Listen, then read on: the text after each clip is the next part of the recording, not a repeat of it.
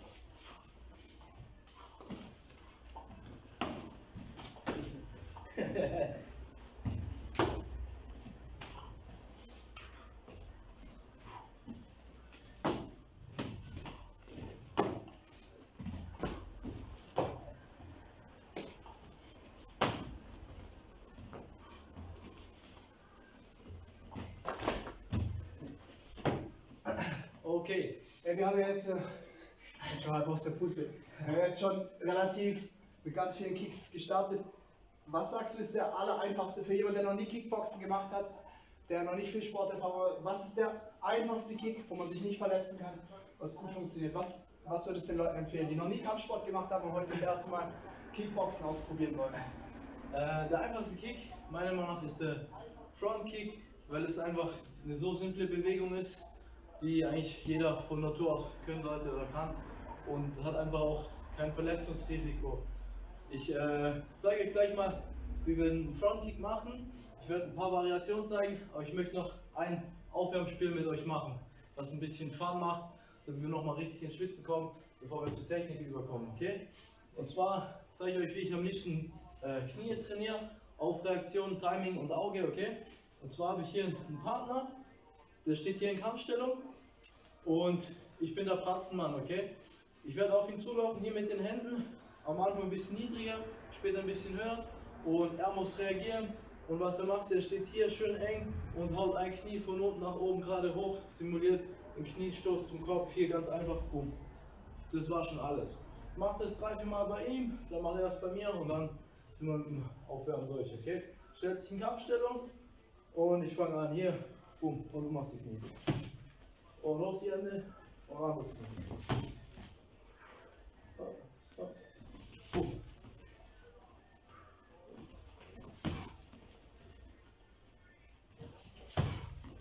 Sehr schön.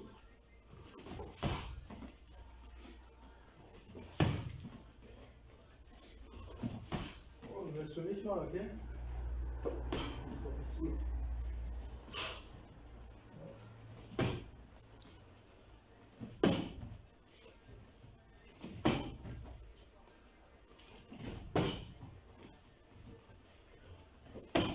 Und. Hände hoch.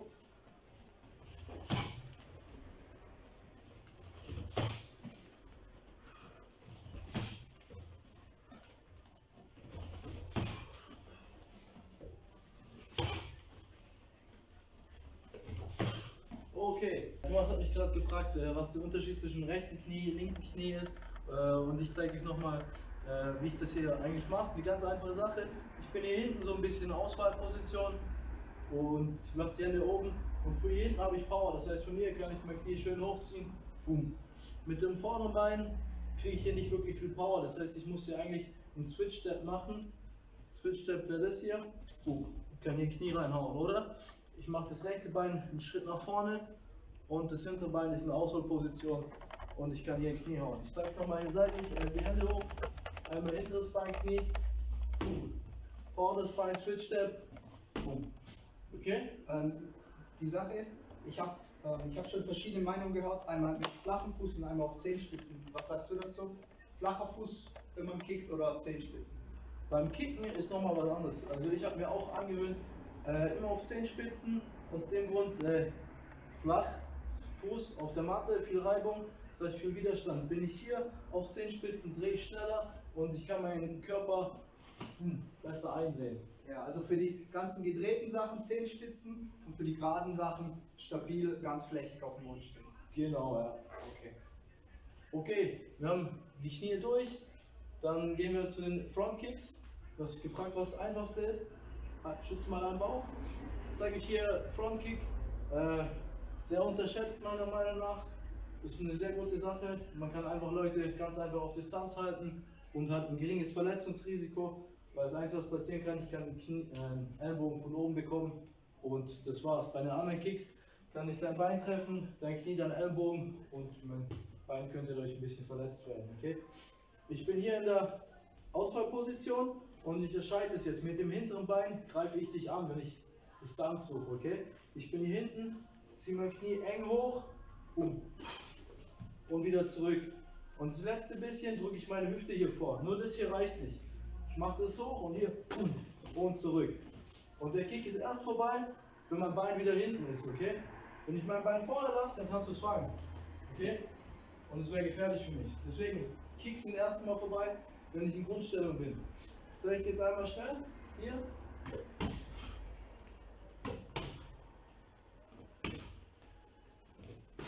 Okay. Das trainieren. Wir machen erstmal das rechte Bein und dann zeige ich, was ich mit dem linken Bein mache. Okay? Also, gehe ich einmal in Kampfstellung und probier mal. Und schnell hinten absitzen.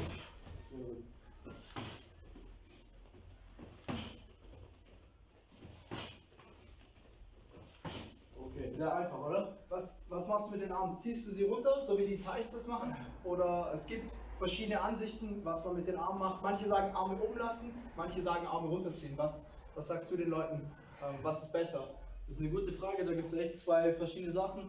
Also ich habe mir das Ganze, ich probiere beide Hände immer oben zu lassen, ja, und ich mache das hier, weil ich einfach mein Gesicht gedeckt haben will. Bei den ganzen seitlichen Kicks schwingt ein Arm immer mit, um Power zu holen. Ich habe hier im Gegenzug, meine Hand ist hier und wenn ich jetzt einen Low-Kick mache, die Hand zieht mit, boom, und ich bleibe seitlich. Aber hier bei den geraden Front-Kicks bleiben meine Hände immer oben. Hier, boom. Okay? Und das Bein war für Angriff. Okay? Mit dem linken Bein gibt es auch zwei Variationen. Und zwar das einfachste ist, wenn du jetzt auf mich zukommst. Okay, das ist für mich ein Stop-Kick. Ich kann dich aber auch mit dem linken angreifen, aber da braucht ich muss beide Beine einmal zusammennehmen. Hier, ein Schritt vor, Knie hoch und wieder zurück. Okay? Und mit dem linken Bein können wir es einmal trainieren als Stop-Kick wenn du auf mich zukommst oder einmal, wenn ich dich angreife mit dem linken. Okay? Und du trainierst drei, vier Mal das linke Bein und danach das rechte Bein, okay? Ich laufe auf dich zu, du trainierst das linke Bein.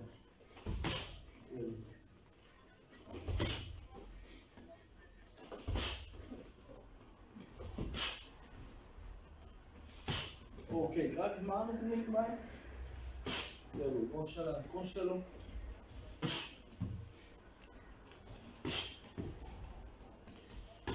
Oh, Bein jetzt. Sehr schön. Und linken. Sehr gut. Okay. Ich habe noch ein kleines Geheimrezept für einen Frontkick. Ich habe eine Art, wie ich antäusche, was ein bisschen verwirrt, okay? Und zwar, äh, was ich gerne mache, wenn ich mit dem hinteren Bein Frontkick mache, ich täusche das gerne an. Ich ziehe das Bein hoch, ein bisschen seitlich und man wird denken, es kommt ein Roundhouse-Kick von rechts. Ziehe das Bein hoch, drehe es wieder in die Mitte, okay? Boom. Und Frontkick kommt. Zeig's einmal an dir. Hier. Denkst es kommt Frontkick, äh, Roundhouse-Kick und dann ziehe ich in die Mitte. Schütz mal deinen Bauch. Boom. Ich bin hier. Einmal langsam noch hochseitlich in die Mitte und ausstrecken. Und probier's mal.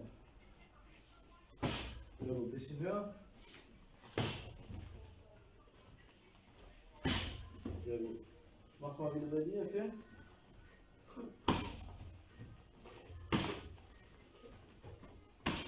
Und los dann.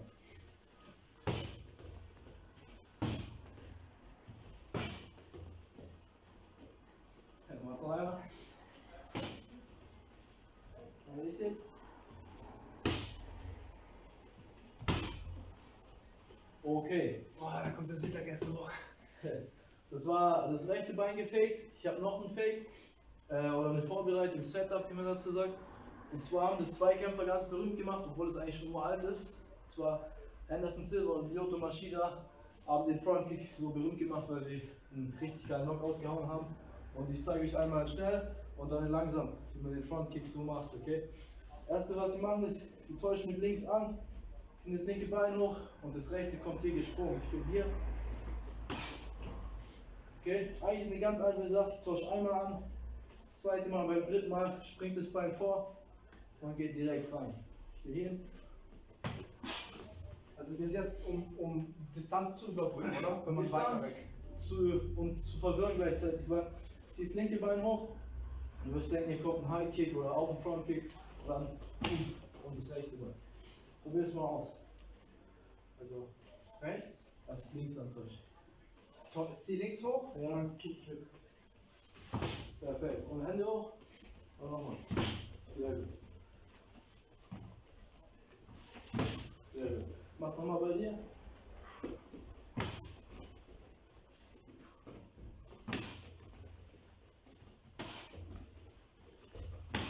Ivan Bronner hat eine Frage. Hinterer Fuß beim Frontkick. Bleibst du flat-footed oder auf die Fußspitze? Bei welchem jetzt? Ja, hier. er hat nur geschrieben, Ich hinterer Fuß. probiere meistens immer auf Zehenspitzen zu sein. Wenn ich jetzt hier den normalen Frontkick mache, hat man die Hände, man sieht es nicht gut, aber ich bin hier vorne immer. Die Thighs bleiben immer flach stehen, weil die nicht gern laufen. Ich laufe gern und bewege mich viel, deswegen bin ich immer hier auf Zehenspitzen. Und was ich hier mache, hier. Und mit der anderen Seite auch, wenn ich das linke Bein bringe, gehe ich hier kurz runter. Aber generell, da ich mich schnell und viel bewege, bin ich immer auf Zehenspitzen. Also was, was mir bei ihm aufgefallen ist, wenn man äh, ihn von der Seite betrachtet, wenn er die, diese Frontkicks macht, sieht so ein bisschen aus wie so ein Bogen. Ähm, wenn er gerade stehen würde, würde ich ihn praktisch, wenn ich auf ihn zukomme, immer aus dem Gleichgewicht bringen. Aber so ist es, er ist praktisch gefedert. Das heißt, wenn ich auf dich zukomme, schiebst du dich im schlimmsten Fall weg. Oder? Kann, kann man das so Kann sagen? man so sagen. Ja. Sollen wir- sollen wir es mal zeigen? Also läufst du auf mich zu? Ich laufe und, du, und ich schieb dich praktisch weg und du aber du frontkickst mich. Ja. Ich glaube, das ist die Frage von Yvonne. Wenn es sie nicht ist, dann stell noch mal, okay? Aber ich glaube, so habe ich es verstanden. Das heißt, du federst dich eigentlich weg, sodass er nicht aus dem Stand rausfällt, oder? Entweder das oder ich drücke mich explosiv nach vorne. Okay. Weil flacher Fuß auf dem Schritt zu tot, aktive Füße heißt, ich werde mich bewegen. Und da ich mich immer bewege, sind meine Füße immer aktiv. Ja. Für die Leute jetzt zu Hause, die nicht das Glück haben, irgendeinen Trainingspartner zu haben, gibt es irgendeine Art, wie man das zu Hause alleine üben kann? Ähm, wenn man keinen Sandsack hat und dann würde ich den Sandsack nehmen, wenn nicht, kann man die Wand nehmen, eine Matte dagegen, seine Bettmatratze und man sollte probieren erstmal das langsam, schön breit, locker gefedert, wie ich auf Zehenspitzen und hier vor. Und das Wichtigste sind die letzten 10 cm jetzt, wo die Hüfte vorgeht, boom, das ist die Power, das ist die Geschwindigkeit, das ist die Power. Und wichtig ist, das Bein schnell wieder nach hinten bringen. Okay, cool. Noch mehr Fragen zu Frontkicks? Wir haben jetzt den linken, den rechten, einmal mit rechts angetäuscht und diesen Oldschool Karate Frontkick, Dieser genau, gar nicht. Richtig coole Sache und ja, macht mega Spaß. Ich würde jetzt noch, wenn keine Fragen sind, würde ich einen Sidekick gern zeigen. Sidekick. Das ist ja eigentlich auch voll der traditionelle Kick. So in den modernen Kampfsportarten sieht man den Sidekick eigentlich voll wenig, oder? Ja, man sieht ihn wenig, aber wird, wird wieder kommen, glaube ich. Das wird Retro und das ist eigentlich auch eine ganz einfache Sache. Ich kann es mal an dir zeigen. Ich schütze mal deinen Bauch. Und zwar bin ich hier und was ich mache ist, ich bringe auch hier beide Beine kurz zusammen und ich bringe das Knie hoch. Hier hoch und ausstrecken. So, Ja. probieren? Ja. Das heißt, ich bin in einer seitlichen Kampfstellung. Genau, Ich bringe die Beine mit so einem Pendulum-Step zusammen, genau, ziehe das Knie hoch ja, und dann strecke ich. genau. Und viele lassen die Hand hier nach vorne und die an der Schläfe. Okay. Und ich mache es nochmal auf der, auf der Seite. Das heißt, Füße zusammen, Genau, die nach vorne und die andere an die Schläfe. genau. Okay. Ich glaube, im Karate heißt der Mawashi Geri. Korrigiert mich, wenn es falsch ist. Gürtelkick. Wie weit lehnst du nach hinten? Probierst du gerade stehen zu bleiben? Ich lehne mich nur minimal nach hinten. Für mich ist wichtig, entscheidet an sich alles, wie weit ich mein Knie hochkriege. Das ist wie bei fast allen Kicks, ich ziehe es hoch und schnell wieder auseinander. Und Ja. ich probiere eigentlich aufrecht zu bleiben. Weil umso mehr mein Gewicht nach unten ist, umso weiter höher geht der, der Kick. Und ich will eigentlich nur zum Körper treten. Ja. Okay, ich probiere es nochmal aus. Wenn ihr gerade einen Partner habt, der schwer ist, probiert es nicht festzumachen, probiert es nur sauber zu machen, okay? Wir haben nur Handschuhe an, kann man nicht so krasse, harte Kicks drauf machen. Deswegen machen wir zweimal rechts, zweimal links, danach der andere Partner, okay? Und dann zeige ich euch noch das Setup dazu. So. Machen wir die andere Seite.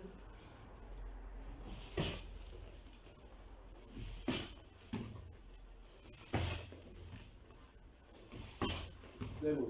Ich zeige noch ein ganz kleines äh, Detail, ähm, wie ich das mh, gern vorbereite, ohne dass man es so sieht. Und zwar bin ich schon in der Auslage nach vorne. Das Einzige, was ich mache, ich ziehe das Bein hoch und ich stehe nicht von Anfang an schräg. Wenn ich schräg stehe, wird er sofort wissen, was passiert.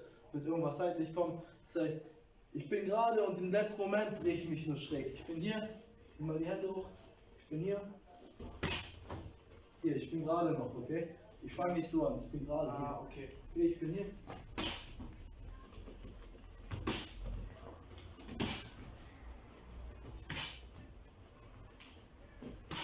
Und probier's nochmal. Ja, am Anfang gerade bleiben.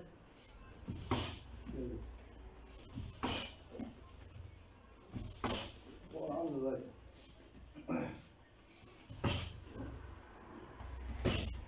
Oh, okay. Mit äh, welchem Teil vom Fuß triffst du, triffst du den Körper? Teil von, vom probieren mit der oberen Kante zu treffen und äh, was ich mache, ich lasse das Bein nicht ausgestreckt, ich ziehe die Zehenspitzen ran, okay? Okay. Ziehe die Zehenspitzen ran und probiere mit der Kante zu treffen. Ja. Okay. Generell gilt bei Kicks auch äh, beim Frontkick wird auch gefragt, voll oft mit der ganzen Ferse oder mit dem Fußballen.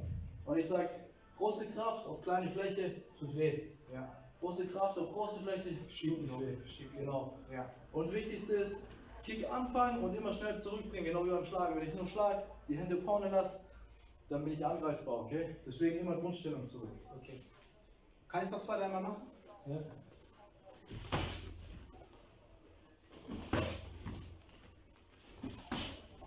Sehr gut.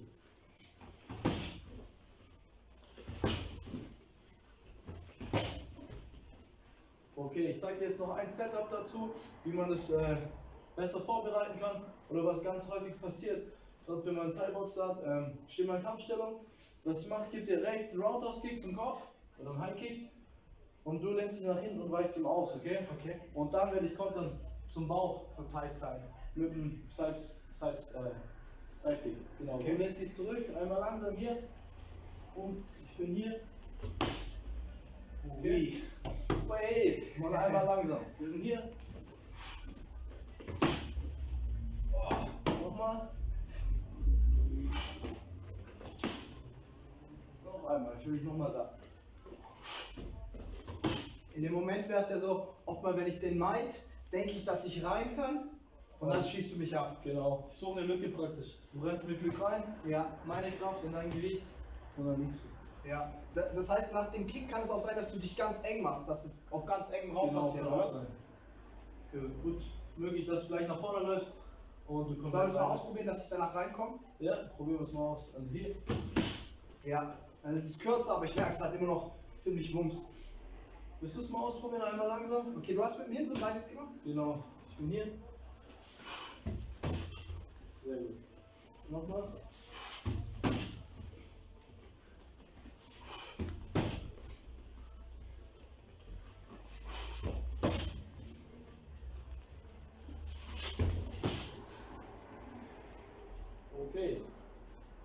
Oder willst du Uh. weitermachen? Boah, sollen wir die ganzen Sachen mal kurz wiederholen, was wir gemacht haben? Wir haben die Knie gemacht, die waren so ein bisschen die Einleitung in die Frontkicks. Von den Frontkicks sind wir in den Sidekick gekommen, oder? Ja. Sollen wir nochmal kurz alle, alle wiederholen?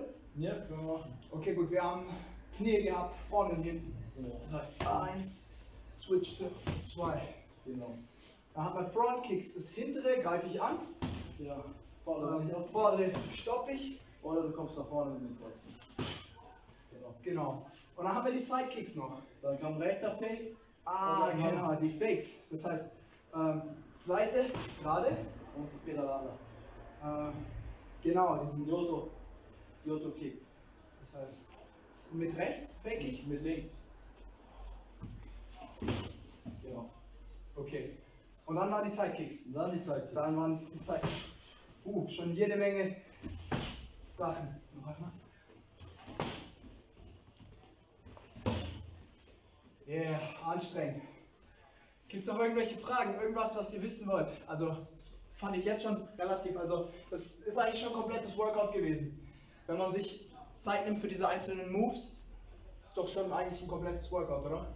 Wenn, man, ich, wenn ich sowas mache, mache ich immer, ich stelle mir einen Timer, eine Runde drei Minuten und ich gucke, dass ich mindestens zwei, zwei Runden eine Technik mache. Das heißt, wir haben jetzt vier Arten von Frontkick, wir haben Sidekicks, das heißt, wir sind bestimmt schon bei sechs, sechs Techniken, das heißt sechs mal drei Minuten, fast eine gute halbe Stunde haben wir jetzt schon. Cool. Ja. Wow, Leute, schreibt mal in die Kommentare, wie es euch hier geht, wie anstrengend ihr das findet, mit wem ihr zu Hause trainiert. Und sollen wir noch einen machen? Machen wir mal einen, darfst du dir aussuchen. Gedreht zum Bauch oder zum Kopf? Ich würde sagen, ich weiß nicht, wie, ähm, wie flexibel die Leute sind. Vielleicht fangen wir mal klein an und wenn wir warm sind, dann steigern wir es mal hoch. Schauen wir mal, was du vorhast, was du geplant hast. Okay, äh, jeder, der bei mir im Training ist, ich zeige jedes zweite Training äh, einen Drehkick zum Körper, Spinning Backkick. Und äh, es gibt da viele verschiedene Theorien. Ich weiß, wie die Taekwondo-Leute es machen und jeder Kampfstil hat eigentlich so seine kleinen Unterschiede und ich zeige euch, wie ich es für mich am liebsten mache, okay? Ich Wür- Würdest du grundsätzlich, das ist jetzt nichts für Anfänger, oder? Anfänger sollten erstmal bei den geraden Kicks bleiben. genau. Und dann, das ist was, wenn, wenn man die geraden Kicks gemeistert hat, wenn man das Gleichgewicht, die Koordination hat, dann fängt man damit an, oder? Das ist was, wo ich sage, wo man äh, langsam üben muss. Ganz oft langsam wiederholen. Die anderen Sachen kann man ausprobieren, die sind an sich nicht schwer, aber das, das muss man feilen. Da braucht man Koordination, man braucht das Auge, man braucht Timing und man braucht auch ein bisschen Gleichgewicht. okay, alles, was ich nicht habe. Und ich zeige es euch mal einmal hier im Freien. Ich habe vier Steps, sage ich dazu. Ich zeige es immer gleich. Ich bringe erstens meinen Körper an eine Linie. Eins. Zweites, ich äh, drehe meine Haxen zu meinem Gegner, da wo ich nicht hinkicken will. Zwei. Drittes Step ist Gegner anschauen. Okay, ich ziehe meinen Gegner an mit meinen Augen, ich muss ihn sehen. Und von hier ziehe ich mein Knie hoch. Boom. Und dann kommt nur noch vier. Treten. Einmal langsam. Eins, zwei, drei, vier. Und der Kick, der ist nur gut, wenn er gerade kommt. Wenn ich da anfange und da aufhöre, dann ist die Energie weg. Okay? Zeige ich es einmal langsam an dir. Ich bin hier. Step 1, 2, 3, 4. Bisschen flüssiger. Okay? Gegner mal anschauen. Okay, schauen wir mal. Also, eins, zwei, drei, vier. Genau. Ich bin jetzt sehr von der Seite gekommen. Genau. Passt es von der Seite oder von unten? Ich habe auch schon beides gehört. Der, das ist der eine Unterschied. Taekwondo-Leute kicken den ganz oft so. Die schauen nicht mal hin, wo sie treten, die treten so. Ich trete gern von der Seite. Ja, Okay. Das ist ein bisschen eine Stilsache. Okay, ich probiere es nochmal aus. Sehr gut.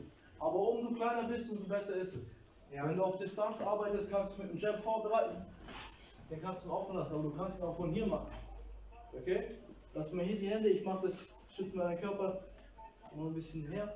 Ich bereite das von hier geht's aus. Ich bereite es sehr gerne vor mit dem Knie. Boom, drück dich weg. Boah. Okay? Krass, das auf, aus dem Infight zu machen.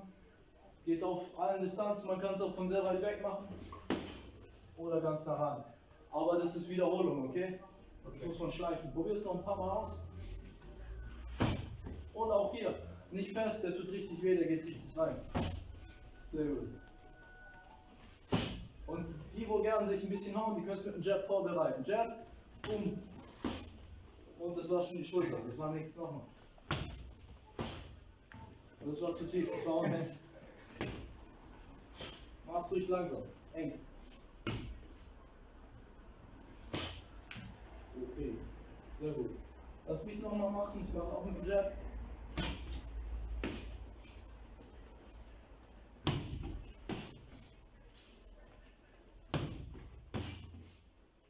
Okay. Es reicht. ähm, ich habe gesehen, du, du machst ja diesen Schritt hier raus. Ja. Das kann man ja eigentlich auch machen, wenn, wenn irgendeine Waffe nicht geklappt hat. Oder wenn ich zum Beispiel einen Haken zu kurz geschlagen habe oder so, oder? Ähm, Dass es nicht so auffällig ist, dass ich diesen, diesen Schritt, dass ich diesen Genau. Schritt praktisch sparen. Kann man auch machen. Ich bereite, äh, ich verwirre meistens die Leute damit. Das hier, wenn das kommt, weiß jeder, der Ahnung hat vom Kampfsport, es kommt was Gedrehtes. Ja. Aber es kann ganz viel Gedrehtes kommen. Es kann hier, boom, eine Backkick kommen. Es kann, schütz nochmal deinen Kopf, hier, okay, komm, und er kann dann zum Körper kommen. Ja. Okay? Oder, Enrico Kehl, Favorite, er macht es, Backfist geht daneben, boom, High Kick. Ja. Also das geht weiter. Aber es gibt auch Leute, die machen das hier komplett ohne den Step. Okay, wa warum machen die das ohne den Step? Ich kann dir nur sagen, warum es ich mit dem Step mache. Okay? Wenn wir jetzt mal hier, gehen wir mal hier voreinander, wenn wir uns hier die Linie vorstellen, die durch dein Zentrum geht und mein Zentrum, Ja. wenn ich mich jetzt von hier aus umdrehe, Dann bin ich, bin ich fast an der dann, Seite dann, vorbei. dann, dann ziele ich dahin. Ja. Okay? Und wenn ich mich jetzt den Schritt rüber mache, Dann bist du genau dann habe ich genau dein Zentrum. Und sogar wenn du jetzt reinläufst, dann erwische ich dich. Ja. Okay? Ja. Ich merke, es ist gar nicht so einfach, sich so auf der Stelle schnell zu drehen, genau zu treffen und nicht aus dem Gleichgewicht zu fliegen. Also es ist wirklich nicht so einfach. Ganz oft äh, bei uns im Training habe ich das, die machen ganz viele machen den Drehkick und die sind hier und drehen und hier hört es auf. Dann drehen hier verkehrt und verlieren das Gleichgewicht. Und das ist halt Übung und das ist der Teil, wo das Gleichgewicht braucht. Okay. Dann lass mich das nochmal machen. Ich bin hier. Schritt, Dreh. Perfekt. Ah, der hat sich schon anders angefühlt.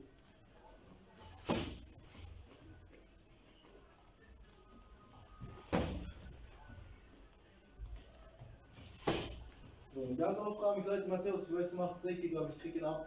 Was kann ich machen, um davon zu kommen? Und für mich gibt es eigentlich immer nur eine Sache, die ich machen kann, um davon zu kommen. Reingehen. Aber nicht in dich rein. Mach mal den Drehkick langsam. Ihr seid nicht an dir vorbei. Ja.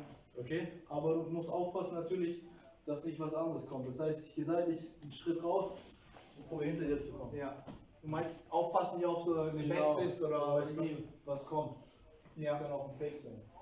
Ähm, ein Kick, den Matthias auch richtig geil macht, das ist so ein, der, der macht viele Kicks geil, aber das ist so dieser Hook-Kick von der Seite. Und ich glaube, das ist auch so dieser Anfang für diese ganzen verrückten äh, rückwärts gedrehten. Dann kannst du vielleicht diesen Hook-Kick, der so aussieht wie so ein Sidekick, weißt du welchen? Genau. Ich sage dazu Zorro, weil es eigentlich ein Set ist, was ich Okay. ziehe. Und ganz viele haben damit Probleme, weil es äh, koordinativ eigentlich äh, ein bisschen schwierig ist und man braucht ein bisschen Übung. Und wenn man es vor den Gegner macht, sieht es richtig komisch aus. Ich mache es mal vor der Kamera. Ich bin hier und ich mache genau das gleiche wie beim Sidestep. Ich gehe hier rüber. Ich kick hoch, aber ich ziehe nicht in die Mitte. Ich ziehe so 45 Grad und ziehe mein Bein zurück bis hierhin und gehe wieder in Grundstellung. Ich bin hier und zur Seite.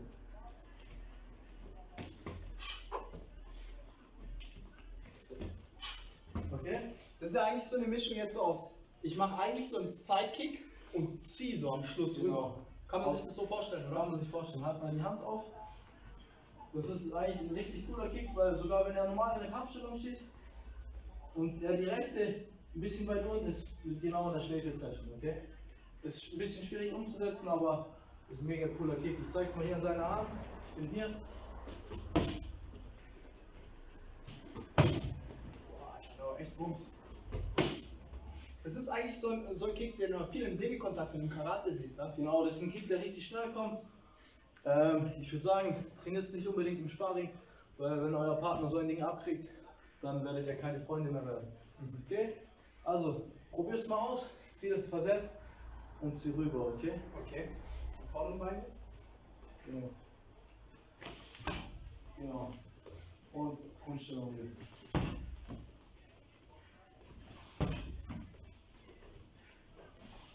Sehr gut, sehr wehgetan.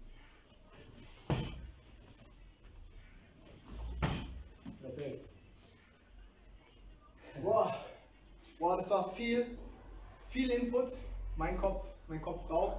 Ähm, ich glaube, um das zusammenzufassen, kann man eigentlich sagen, es gibt zwei Arten von Kicks, oder? Es gibt die Kicks, die so gestochen sind, wie so ein Speer. Und es gibt die, die wie so eine Axt sind von der Seite. Ja, schwierig sozusagen. Äh, Details sind eher die, wo hart so kicken, alles durchbrechen wollen und das ganze andere ist halt so gedreht. So Taekwondo-Style, Kickboxing mehr, Karate und das sind eher die so bisschen filigraneren Sachen. Ja, boah, cool. Mein Kopf raucht, ich schwitze schon gut. Ich glaube, für mich, für mich reicht es vom Input her. Ähm, danke für die ganzen Zuschauer und die Zuschau äh, Zuhörer. Wenn ihr ähm, noch Fragen habt, schreibt es gerne unten in den Kommentaren. Danke an Matthäus für die geile Kick-Session. Wir hoffen euch bald wieder hier im Studio zu sehen. Trainiert zu Hause, wie gesagt. Geht irgendwo hin, wo ihr Platz habt, wo ihr nichts kaputt machen könnt. Äh, Im Wohnzimmer oder so ist es nicht so cool. Vor allen Dingen trainiert an keinem Ort, wo es gemütlich ist, okay? Geht raus an die frische Luft, geht in den Keller, geht irgendwo hin, wo ihr Gas geben könnt. Okay, super, danke, dass ihr da wart. Wenn ihr Fragen habt, könnt ihr mich jederzeit fragen. Ich hoffe, ich sehe euch bald wieder. Bis zum nächsten Mal. Prost. Prost!